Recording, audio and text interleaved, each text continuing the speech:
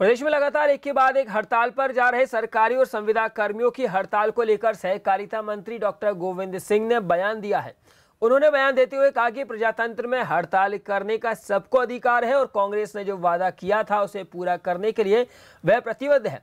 सरकार पाँच साल के लिए बनी है। कांग्रेस ने यह दावा नहीं किया था कि पाँच महीने में ही सब मांगे पूरी हो जाएँगी।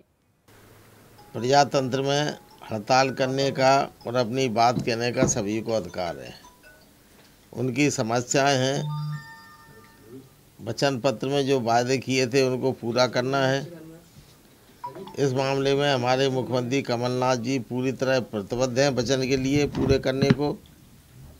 लेकिन आज वर्तमान में सरकार पाँच साल के लिए बनी है। जी, हमारा वायदा कहीं नहीं था सरकार का कि हम छः महीने में एक वर्ष में सब काम करेंगे।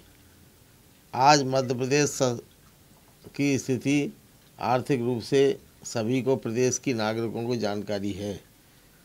अचानक वित्तीय स्थिति में एकदम अगर सब मांगे मंजूर करके इनको पैसा देते हैं तो पूरे प्रदेश में विकास कार्य पूरे प्रदेश में बिजली, पानी की और आम जन स्वास्थ्य की चिकित्सा सेवा भी हमें ठप करना पड़ेंगी।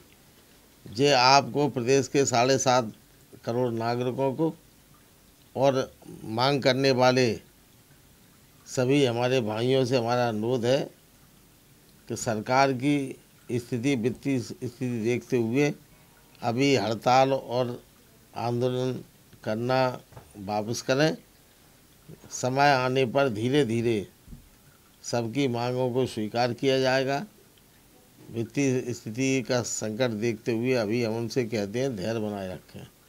जो वचन दिया है मुख्यमंत्री कमलनाथ जी ने पूरा होगा।